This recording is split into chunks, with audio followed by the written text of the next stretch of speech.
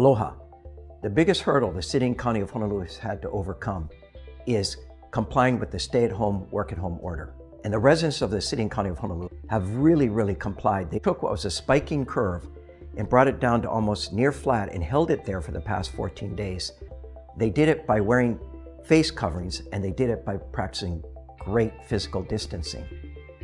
So now the call to action is as we open back up, as we thaw the freeze that we put in place, it's complying with the same important physical distancing and face covering wearing. As we open up businesses, the least risky ones first, the more risky ones, if they continue to do this with rapid testing, contact tracing, and isolation, we'll be returned to where we were before the virus hit our island shores.